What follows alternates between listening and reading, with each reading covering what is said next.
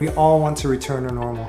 I've looked closely at the data. This vaccine is effective and this vaccine is safe. Get up and move. Get vaccinated Guam.